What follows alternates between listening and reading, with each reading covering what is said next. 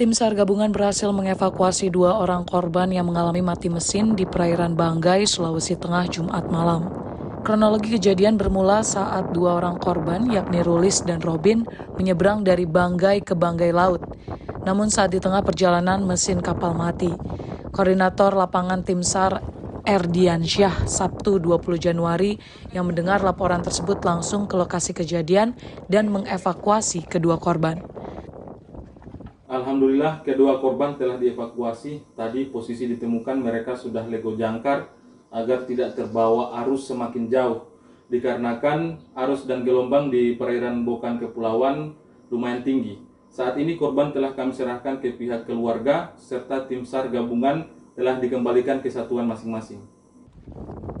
Setelah berhasil dievakuasi menggunakan rigid buoyant boat milik tim SAR, saat ini kedua korban telah kembali ke rumah masing-masing.